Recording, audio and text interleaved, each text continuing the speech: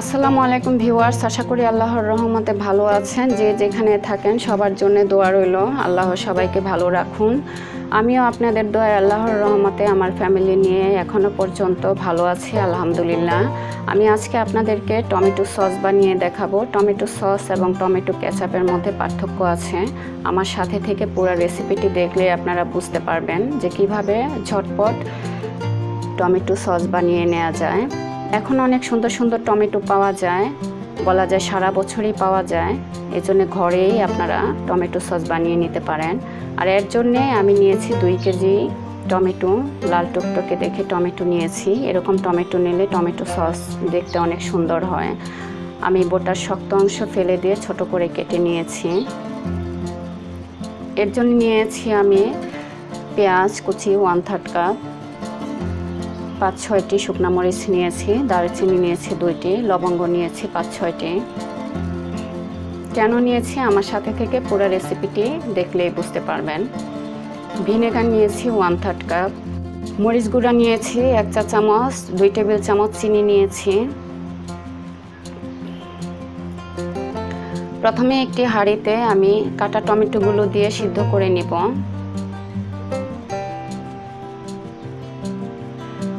এর জন্য দিয়ে দিচ্ছি আমি হাফ কাপ পানি। পানি না দিলে নিচে পুড়ে যাবে এই জন্যই দেয়া।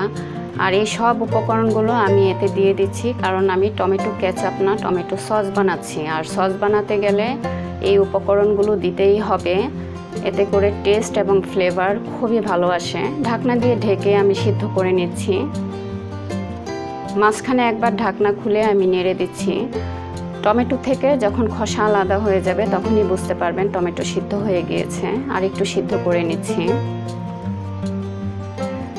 সিদ্ধ হয়ে গিয়েছে, পানি রয়ে গিয়েছে। আমি আরেকটু পানি টেনে নিয়ে চুলা অফ করে দিচ্ছি। দিয়ে ঠান্ডা করে আমি ব্লেন্ড করে নিব। ঠান্ডা হয়ে গিয়েছে, আমি একটি ব্লেন্ডারে দিয়ে ব্লেন্ড করে নিচ্ছি। আপনারা চাইলে হাতে কচলিয়ে বা ডাল ঘুটনি দিয়ে ঘুটেও করতে পারেন। তবে ব্লেন্ডারে করলে বিচি ছাড়া পুরো টমেটোটাই পিউরি হয়ে যায়।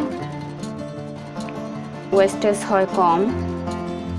আমি একটি স্ট্রেনার দিয়ে ছেঁকে নিচ্ছি। আপনারা চাইলে যে কোনো পাতলা কাপড় দিয়েও ছেঁকে নিতে পারেন।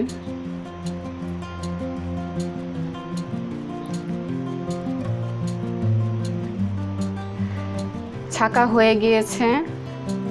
আমি এখন একটি হাঁড়িতে টমেটো পিউরি দিয়ে দিচ্ছি, চুলা অন করে এর মধ্যে দিয়ে দিচ্ছি স্বাদ মতো লবণ, দিয়ে দিচ্ছি মরিচ গুঁড়া,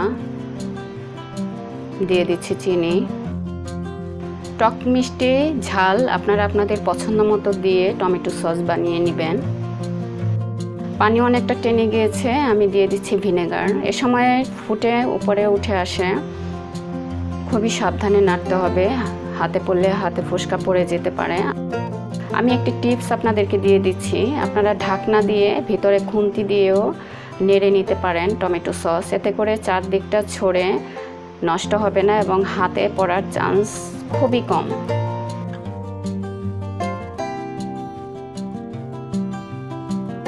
পানি নেই, পানি শুকিয়ে গিয়েছে, দেখতেই পাচ্ছেন। হয়ে গিয়েছে আমার আজকের রেসিপি টমেটো সস। কীভাবে ঝটপট বাসায় সুস্বাদু সসটি বানিয়ে নেওয়া যায় এতক্ষণ দেখে নিলেন। আমার পাশে থেকে এই রেসিপিটি দেখার জন্য অসংখ্য ধন্যবাদ।